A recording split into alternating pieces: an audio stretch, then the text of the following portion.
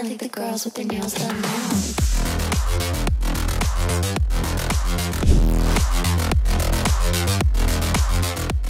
ഇതാണ് ജീപ്പിന്റെ മെറിഡിയൻ എന്ന് പറയുന്ന വേർഷൻ. മെറിഡിയന്റെ ടോപ്പ് ഇൻ വേർഷൻ ഓവർലാൻഡ് ആണിത്.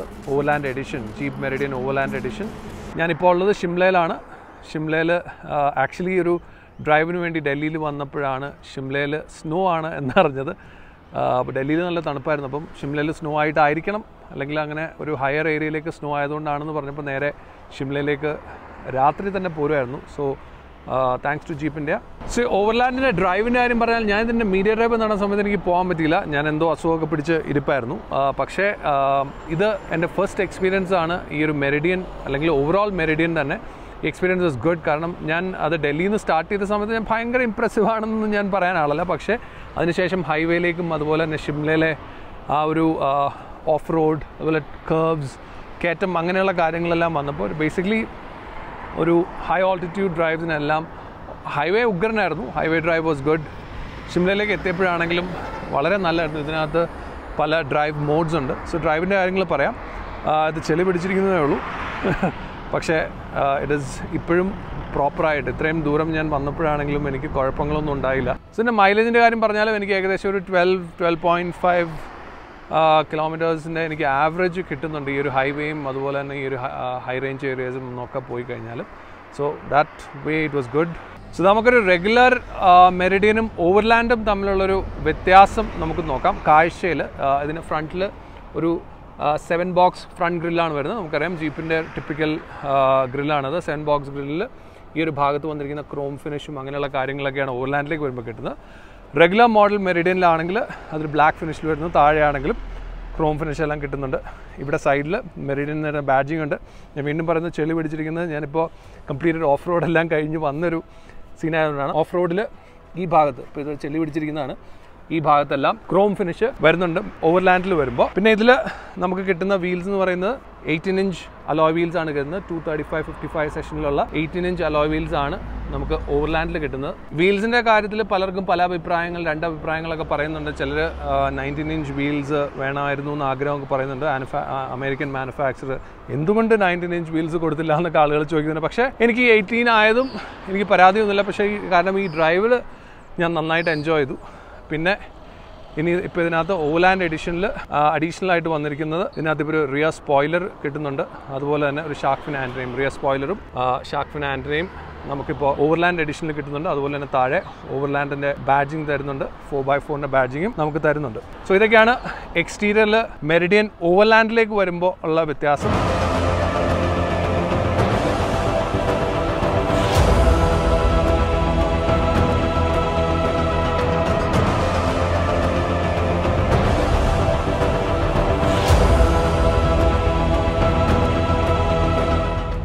സോ നമുക്ക് ഓവർലാൻഡ് ഇന്റീരിയർ ഒന്ന് നോക്കാം. സോ ഓവറോൾ ഇന്റീരിയർ ഡിസൈൻ നോക്കിക്കഴിഞ്ഞാൽ എക്സാക്ട്ലി നമ്മൾ മെറിഡിയനിൽ കണ്ടിരിക്കുന്ന ആ ഒരു സെയിം ഡിസൈൻ തന്നെയാണ് വന്നിരിക്കുന്നത്. എന്നാൽ ഓവർലാൻഡിലേക്ക് വന്നിരിക്കുന്ന വ്യത്യാസം മെയിനായിട്ടൊരു ബ്രൗൺ തീം ഒരു new dark brown colour theme കൊടുത്തിട്ടുണ്ടെന്നുള്ളതാണ് ഏറ്റവും വലിയ പ്രത്യേകത. ഡാർക്ക് ബ്രൗൺ തീമിനൊപ്പം വന്നിരിക്കുന്നത് സൈഡ് ഡോർ പാനലും അതുപോലെ തന്നെ സീറ്റ്സും എല്ലാം ഒരു ബ്രൗൺ കളർ തീമിലാണ് വന്നിരിക്കുന്നത്. അതിൽ ഓവർലാൻഡ് എന്ന് എഴുതിയിരിക്കുന്ന ഒരു ബാജിങ് ലുക്സ് ക്ലാസി അതുപോലെ സെന്റർ കൺസോളിൽ നോക്കിക്കഴിഞ്ഞാൽ ഈ ബ്രൗണിന്റെ കൂടെ തന്നെ ഒരു കോപ്പർ ടച്ചും കോപ്പർ ആക്സൻസും നൽകിയിട്ടുണ്ട്. ദാറ്റ് ദാറ്റ്സ് ഓൾസോ നമുക്ക് കിട്ടുന്നത് ഈ ഒരു ഓവർലാൻഡ് എന്ന് പറയുന്ന വേരിയന്റിൽ മാത്രമാണ്. പക്ഷെ അതിലും എല്ലാം ഭംഗി എനിക്ക് ഫീൽ ചെയ്യുന്നത് ഈ ഒരു സ്വെയ്ഡ് ലെതർ ഫിനിഷാണ് ഈ ഒരു സ്വെയ്ഡ് ലൈനിങ് അതിനകത്ത് വന്നിരിക്കുന്ന വൈറ്റ് സ്റ്റിച്ചിങ് ഇത് സ്വെയ്ഡ് ഞാൻ ഇതുവരെ ഒരു കാറിന്റെ ഇന്റീരിയറിൽ ഞാൻ അധികം കാണാത്തൊരു ഫീലാണ്. അതുപോലെ തന്നെ ഡോർ പാഡിലും ഈ ഒരു ഭാഗത്തും എല്ലാം ഒരു സ്വീറ്റ് കളർ സ്വീറ്റ് ലൈനിങ് നൽകിയിട്ടുണ്ട്. Overall interior looks very premium അതാണ് എനിക്ക് ഒറ്റ നോട്ടത്തിൽ പറയാനുള്ളത്. ഫീച്ചേഴ്സിന്റെ കാര്യം പറഞ്ഞാൽ ഇതിലൊരു ten point one inch infotainment system വരുന്നുണ്ട്. ഇൻഫർടൈൻമെന്റ് സിസ്റ്റം കംപ്ലീറ്റ്ലി പാക്ഡ് ആണ്. അതിൽ ആപ്പിൾ കാപ്ലേ ആൻഡ്രോയിഡ് ഓട്ടോ എന്നിവയെല്ലാം ഉണ്ട്. ടച്ച് ആണെങ്കിലും നല്ല റെസ്പോൺസീവ് ഒരു ടച്ച് സെൻസിറ്റീവ് സ്ക്രീനാണ് വരുന്നത്. പിന്നെ അത് കൂടാതെ ടെൻ പോയിന്റ് ടു ഫൈവ് ഇഞ്ചിന്റെ ഒരു ഇൻസ്ട്രുമെന്റ് ക്ലസ്റ്ററും നമുക്കിപ്പോൾ ഇതിന്റെ ഓവർലാൻഡിൽ അല്ലെങ്കിൽ മെറിഡിയനിൽ ലഭിക്കുന്നുണ്ട്. അതെല്ലാം സെയിം തന്നെയാണ് വരുന്നത്. അത് കൂടാതെ നമുക്ക് പാനറോമിക് സൺറൂഫ് ഇപ്പോൾ കിട്ടുന്നുണ്ട്.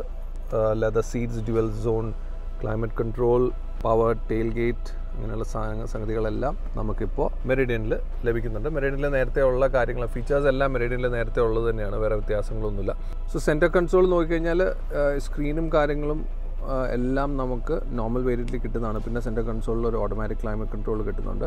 പിന്നെ ഒരു വയർലെസ് ചാർജർ പിന്നെ ഇവിടെ electronic parking brake different drive modes ആണ്. സാൻഡ് മഡ് സ്നോ ഓട്ടോ എന്നീ മൂന്ന് ഡിഫറെന്റ് മോഡ്സ് കിട്ടുന്നുണ്ട്.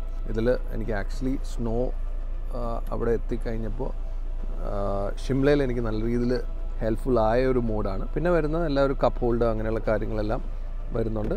സോ ജീപ്പ് മെറിഡിയൻ ഓവർലാൻഡിന്റെ ഡ്രൈവിലാണ് ഞാൻ ഞാനിപ്പോൾ ഇത് ഡ്രൈവ് എന്ന് പറയുന്നത് ഞാൻ എന്റെ മീഡിയ ഡ്രൈവിന് എനിക്ക് പോകാൻ പറ്റില്ല. അപ്പോഴാണ് എനിക്ക് ഡൽഹിയിൽ നിന്ന് ഷിംലയിലേക്ക് ഡ്രൈവ് ചെയ്യാനായിട്ട് എനിക്ക് ജീപ്പ് ഇന്ത്യ മെറിഡിയൻ തന്നത് മെറിഡിയൻ തന്നപ്പോൾ അത് ഓവർലാൻഡും ആയിരുന്നു ഓവർലാൻഡ് എന്ന് പറയുന്നത് അവരുടെ limited edition top of the line four by four variant ആണ് ഓവർലാൻഡ് എന്ന് പറയുന്നത്. സോ അതിനകത്തെ കുറച്ച് വ്യത്യാസങ്ങളൊക്കെ ഇന്റീരിയലും എക്സ്റ്റീരിയലും ഒക്കെ ഞാൻ പറഞ്ഞു. സോ ആദ്യമേ തന്നെ എനിക്ക് പറയാനുള്ള ഒരു കാര്യം ജീപ്പിന്റെ പ്രാധാന്യം ആക്ച്വലി ജീപ്പ് എന്ന് പറയുന്ന ഒരു brand actually it's an American brand ഭയങ്കര ഇമ്പോർട്ടന്റ് ബ്രാൻഡായിട്ട് വരികയാണ് ഇപ്പോൾ കേരളത്തിൽ എസ്പെഷ്യലി കാരണം ജീപ്പ് പല ഡീലേഴ്സും ഉണ്ടായിരുന്നു. സോ ഡീലർഷിപ്സിന്റെ ഇഷ്യൂസും കാര്യങ്ങളും എല്ലാം ഉണ്ടായിരുന്നുകൊണ്ട് ആളുകളുടെ ഇടയിൽ അത്ര പോപ്പുലാരിറ്റി കിട്ടിയിരുന്നില്ല.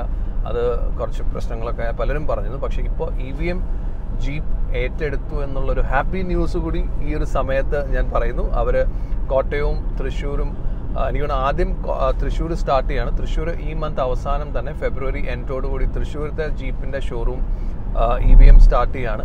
അതുപോലെ തന്നെ അതിനുശേഷം കോട്ടയവും പിന്നീട് ഒരു പക്ഷേ എറണാകുളവും എല്ലാം അവർ തുടങ്ങാൻ സാധ്യതയുണ്ട്. എന്താണെങ്കിലും ജീപ്പിന്റെ ഒരു ഫ്യൂച്ചർ ഇസ് കൈൻഡ് ബ്രൈറ്റ് എന്നുള്ള എനിക്ക് തോന്നുന്നത്. E V M as a brand കാരണം ഏകദേശം ഇരുപത് ഇരുപതോളം ഇരുപത്തഞ്ചോളം ബ്രാൻഡുകൾ ഹാൻഡിൽ ചെയ്യുന്ന ഒരു വലിയ ഡീലർഷിപ്പ് തന്നെയാണ്. അല്ലെങ്കിൽ ഡീലർഷിപ്പ് അല്ലെങ്കിൽ ഗ്രൂപ്പാണ് E V M group so ഒരുപാട് കാര്യങ്ങൾ. ഞാനിത് പറയുമ്പോൾ എനിക്ക് തോന്നുന്നു ഒരുപാട് പേര് പലതും പറയാൻ സാധ്യതയുണ്ട്. പക്ഷെ ഒരു കാര്യം അതിനകത്തുള്ളത് ഇരുപത്തഞ്ച് അല്ലെങ്കിൽ ഇരുപത് ബ്രാൻഡുകൾ ഹാൻഡിൽ ചെയ്യുന്ന അവർ അത്ര ഒരു കുഴപ്പം അല്ലെങ്കിൽ മോശമാവാൻ സാധ്യതയില്ല. പല കാര്യങ്ങളും പലതും പറയുന്നുണ്ട്. കാരണം എന്റെ ഒരു അറിവനുസരിച്ച് ഏകദേശം ഫോക്സ് വാനിന്റെ ബ്രാൻഡ് അല്ലെങ്കിൽ ഫോക്സ് വാൻ അവർ ഹാൻഡിൽ ചെയ്യുന്നുണ്ട്. ഒരു മാസത്തിൽ നോക്കുകയാണെങ്കിൽ ഏകദേശം രണ്ടായിരം വണ്ടിയോളം സർവീസിൽ വന്നു പോകുന്നുണ്ടെന്നുള്ളതാണ് എന്റെ ഒരു അറിവ്. ഫോക്സ് വാൻ മാത്രം. കാരണം അത്രയും all Kerala except Thrissur all Kerala മുഴുവൻ സ്പ്രെഡ് ഔട്ട് ചെയ്ത് കിടക്കുന്ന ഡീലർഷിപ്പ് ചെയിനാണ് ഇ വി എമ്മിന്റെ ഫോക്സ് വാൻ എന്ന് പറയുന്നത്.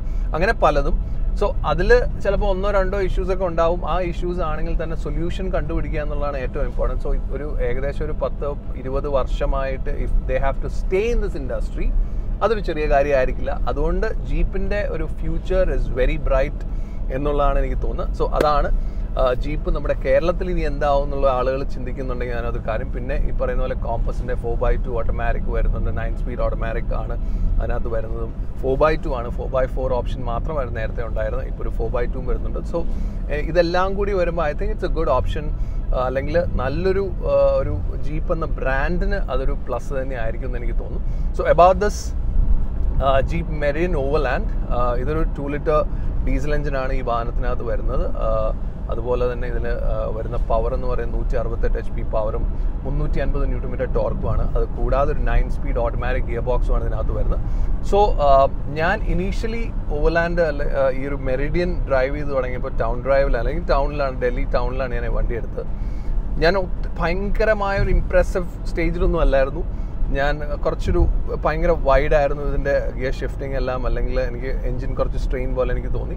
സ്ട്രെയിൻ തോന്നേണ്ട കാര്യം ആക്ച്വലി ഇല്ലായിരുന്നു. കാരണം ഈ ടു ലിറ്റർ ആണ് എല്ലാത്തിലും വരുന്നത്. ഒരുപാട് നമ്മുടെ ഈ ഒരു എസ് യു വി ലൈനപ്പിൽ നോക്കിക്കഴിഞ്ഞാൽ ഡീസൽ എഞ്ചിനുള്ള മിക്ക ബ്രാൻഡ്സും ഉപയോഗിക്കുന്ന ഈ സെയിം എഞ്ചിനും തന്നെയാണ്. ഗിയർ ബോക്സ് ഇപ്പോൾ എനിക്ക് തോന്നുന്ന ജീപ്പിന് മാത്രമാണ് മെയിനായിട്ടുള്ളൂ പക്ഷേ അത് കഴിഞ്ഞിട്ട് ഞാൻ ഹൈവേയിലേക്കും അതുപോലെ ഷിംലയിൽ വൈൻഡിങ് റോഡ്സിലും ഹില്ലി ഏരിയാസിലെല്ലാം ഡ്രൈവ് ചെയ്ത സമയത്ത് ഐ വാസ് സൂപ്പർ ഹാപ്പി ഹൈവേയിൽ I was so happy with this കാരണം ഷിഫ്റ്റിംഗ് വാസ് പ്രിസൈസ് ആണ്. ഒട്ടും ഒരു ഡിലേ ഫീൽ ചെയ്തില്ല. ഡൗൺ ഷിഫ്റ്റിന്റെ സമയത്താണെങ്കിലും ഒരു ജേർക്കിനെസ് ഒന്നും കിട്ടില്ല. So the gear box was good nine speed automatic ആണ്. സോ നല്ല രീതിയിൽ എനിക്ക് ഡ്രൈവ് ചെയ്യാൻ പറ്റി. ഇപ്പോൾ എനിക്കൊരു ആവറേജ് കിട്ടുന്ന ഹൈവേയിൽ എനിക്കിപ്പോൾ ഒരു ആവറേജ് ഫോർട്ടീൻ കിട്ടുന്നുണ്ട്.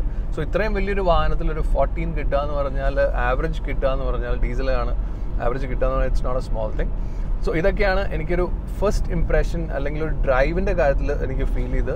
സസ്പെൻഷൻ വാസ് ഗുഡ് ചെറിയൊരു സ്റ്റിഫ്നെസ് ഫീൽ ചെയ്യുന്നുണ്ട് ഡ്രൈവിന്റെ സമയത്ത് but that improves the stability അല്ലെങ്കിൽ ഒരു ഡ്രൈവിന്റെ ഡൈനാമിക്സിനെ ഹെൽപ്പ് ചെയ്യുന്ന രീതിയിലാണ് വരുന്നത്. സോ ഡ്രൈവിന്റെ കാര്യം ഓവറോൾ എടുക്കുകയാണെങ്കിൽ ആ ഒരു ടൗണിന്റെ ഉള്ളിൽ ട്രാഫിക്കിന്റെ ഉള്ളിലുണ്ടായ ഒരു ഒരു ചെറിയൊരു പ്രശ്നം ഒഴിച്ചു കഴിഞ്ഞാൽ I think highway winding roads everything was very good എന്നുള്ളതാണ് എനിക്ക് ഫീൽ ചെയ്യുന്നത്. So full option overland Meridian overland four by ഫോറിന്റെ വില വരുന്നത് thirty nine point six six lakhs ആണ് എക്സ് ഷോറൂം വരുന്നത്. മെറിഡിയൻ ഓവർലാൻഡിന്റെ എഞ്ചിൻ വരുന്ന ഒരു ടു ലിറ്റർ ഡീസൽ എഞ്ചിനാണ് വരുന്നത്. അതിന്റെ പവർ വരുന്നത് നൂറ്റി അറുപത്തെട്ട് എച്ച് പി പവറും മുന്നൂറ്റി അൻപത് ന്യൂട്ടൺ മീറ്റർ ടോർക്കുമാണ് ഇതിൽ വരുന്ന ഗിയർ ബോക്സ് എന്ന് പറഞ്ഞാൽ nine speed automatic gear box ആണ് സോ ഈ ജീപ്പിന്റെ കോമ്പസിലാണെങ്കിലും എല്ലാം നമ്മൾ ഈ ഒരു എഞ്ചിനും ഗിയർ ബോക്സും എല്ലാം കണ്ടാണ്. സോ അതിന്റെ കാര്യത്തിൽ പ്രത്യേകിച്ച് ഒരു ഡൗട്ടൊന്നും ഫീൽ ചെയ്യേണ്ട കാര്യമില്ല. കോമ്പസിൽ ആ എഞ്ചിൻ ശരിക്കും പ്രൂവ് ചെയ്തൊരു എഞ്ചിനും കൂടിയാണ്. ഇറ്റ്സ് എ ഗുഡ് എഞ്ചിൻ അതുപോലെ തന്നെ ഇതിന്റെ ഒരു ഡ്രൈവിന്റെ കാര്യത്തിലാണെങ്കിലും വളരെ സ്റ്റേബിൾ ആണ്. ഡൈനമിക്സ് സൂപ്പർ ടേൺസിലൊന്നും ഒട്ടും തന്നെ ഫീൽ ചെയ്യുന്നില്ല. It's it's too good to drive എന്നുള്ളൊരു ഫീലാണ് എനിക്ക് വരുന്നത്. On a highway on a hilly road winding roads എല്ലാം തന്നെ. ഓവറോൾ ഞാൻ നോക്കുമ്പോൾ വില ഓൺ ഓൺ ഹയർ സൈഡ് ആണെന്ന് എനിക്ക് തോന്നുന്നു. പക്ഷേ ജീപ്പാണ് എല്ലാ രീതിയിലും it's a safe car it's a very stable it's a quality wise ആണെങ്കിലും നല്ലൊരു വാഹനമാണ്. യെസ് പ്രൈസി ആണ്. കുറച്ച് ഇതിന്റെ സെഗ്മെന്റ്സ് വെച്ച് നോക്കുമ്പോൾ ഒരു അല്പം മുകളിലാണെങ്കിൽ പോലും ഒരുപാട് നല്ല കാര്യങ്ങളുള്ളൊരു വാഹനമാണ് ജീപ്പിന്റെ മെറിഡിയൻ ഓവർലാൻഡ് എന്ന് പറയുന്നത്.